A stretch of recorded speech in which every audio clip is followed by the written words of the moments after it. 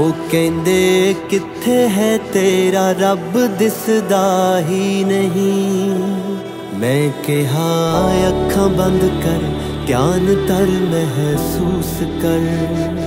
ਇਹ ਮਸਲਾ ਬਾਹਰ ਦੀ ਅੱਖ ਦਾ ਨਹੀਂ, ਅੰਦਰ ਦਾ ਹੈ।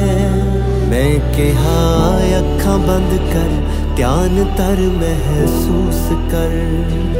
ਉਹ ਕਹਿੰਦੇ, ਕਿੱਥੇ ਹੈ ਤੇਰਾ ਰੱਬ? ਦਿਸਦਾ ਹੀ ਨਹੀਂ।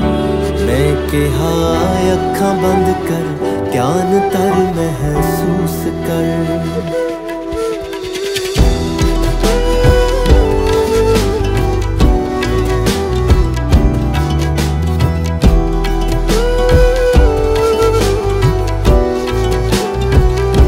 ਉਹ ਕਹਿੰਦੇ ਸਭ ਛਾਵਾਂ ਕਰ ਗਿਆ ਕਿੰਜ ਮੁਖ ਤੇ। ਤੇ ਨਾਲੇ ਪੰਜੇ ਨਾਲ ਪਹਾੜ ਕਿਦਾਂ ਰੁਕ ਜਾਵੇ। ਮੈਂ ਕਿਹਾ, ਪਰਮ ਨਹੀਂ ਏ, ਰਮਜ਼ ਹੈ, ਸੰਕੇਤ ਹੈ।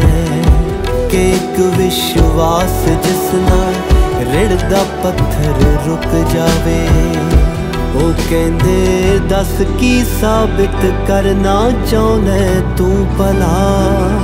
ਮੈਂ ਕਿਹਾ, ਅੱਖਾਂ ਬੰਦ ਕਰ, ਧਿਆਨ ਤਰ ਮਹਿਸੂਸ ਕਰ। ਗੁਰੂ ਨਾਨਕ, ਤਾਂਗ ਸੰਗ ਹੈ, ਤੂੰ ਹੀ ਬਸ ਗੈਰ ਹਾਜ਼ਰ ਹੈ। ਗੁਰੂ ਨਾਨਕ ਗੁਰੂ ਨਾਨਕ ਗੁਰੂ ਨਾਨਕ।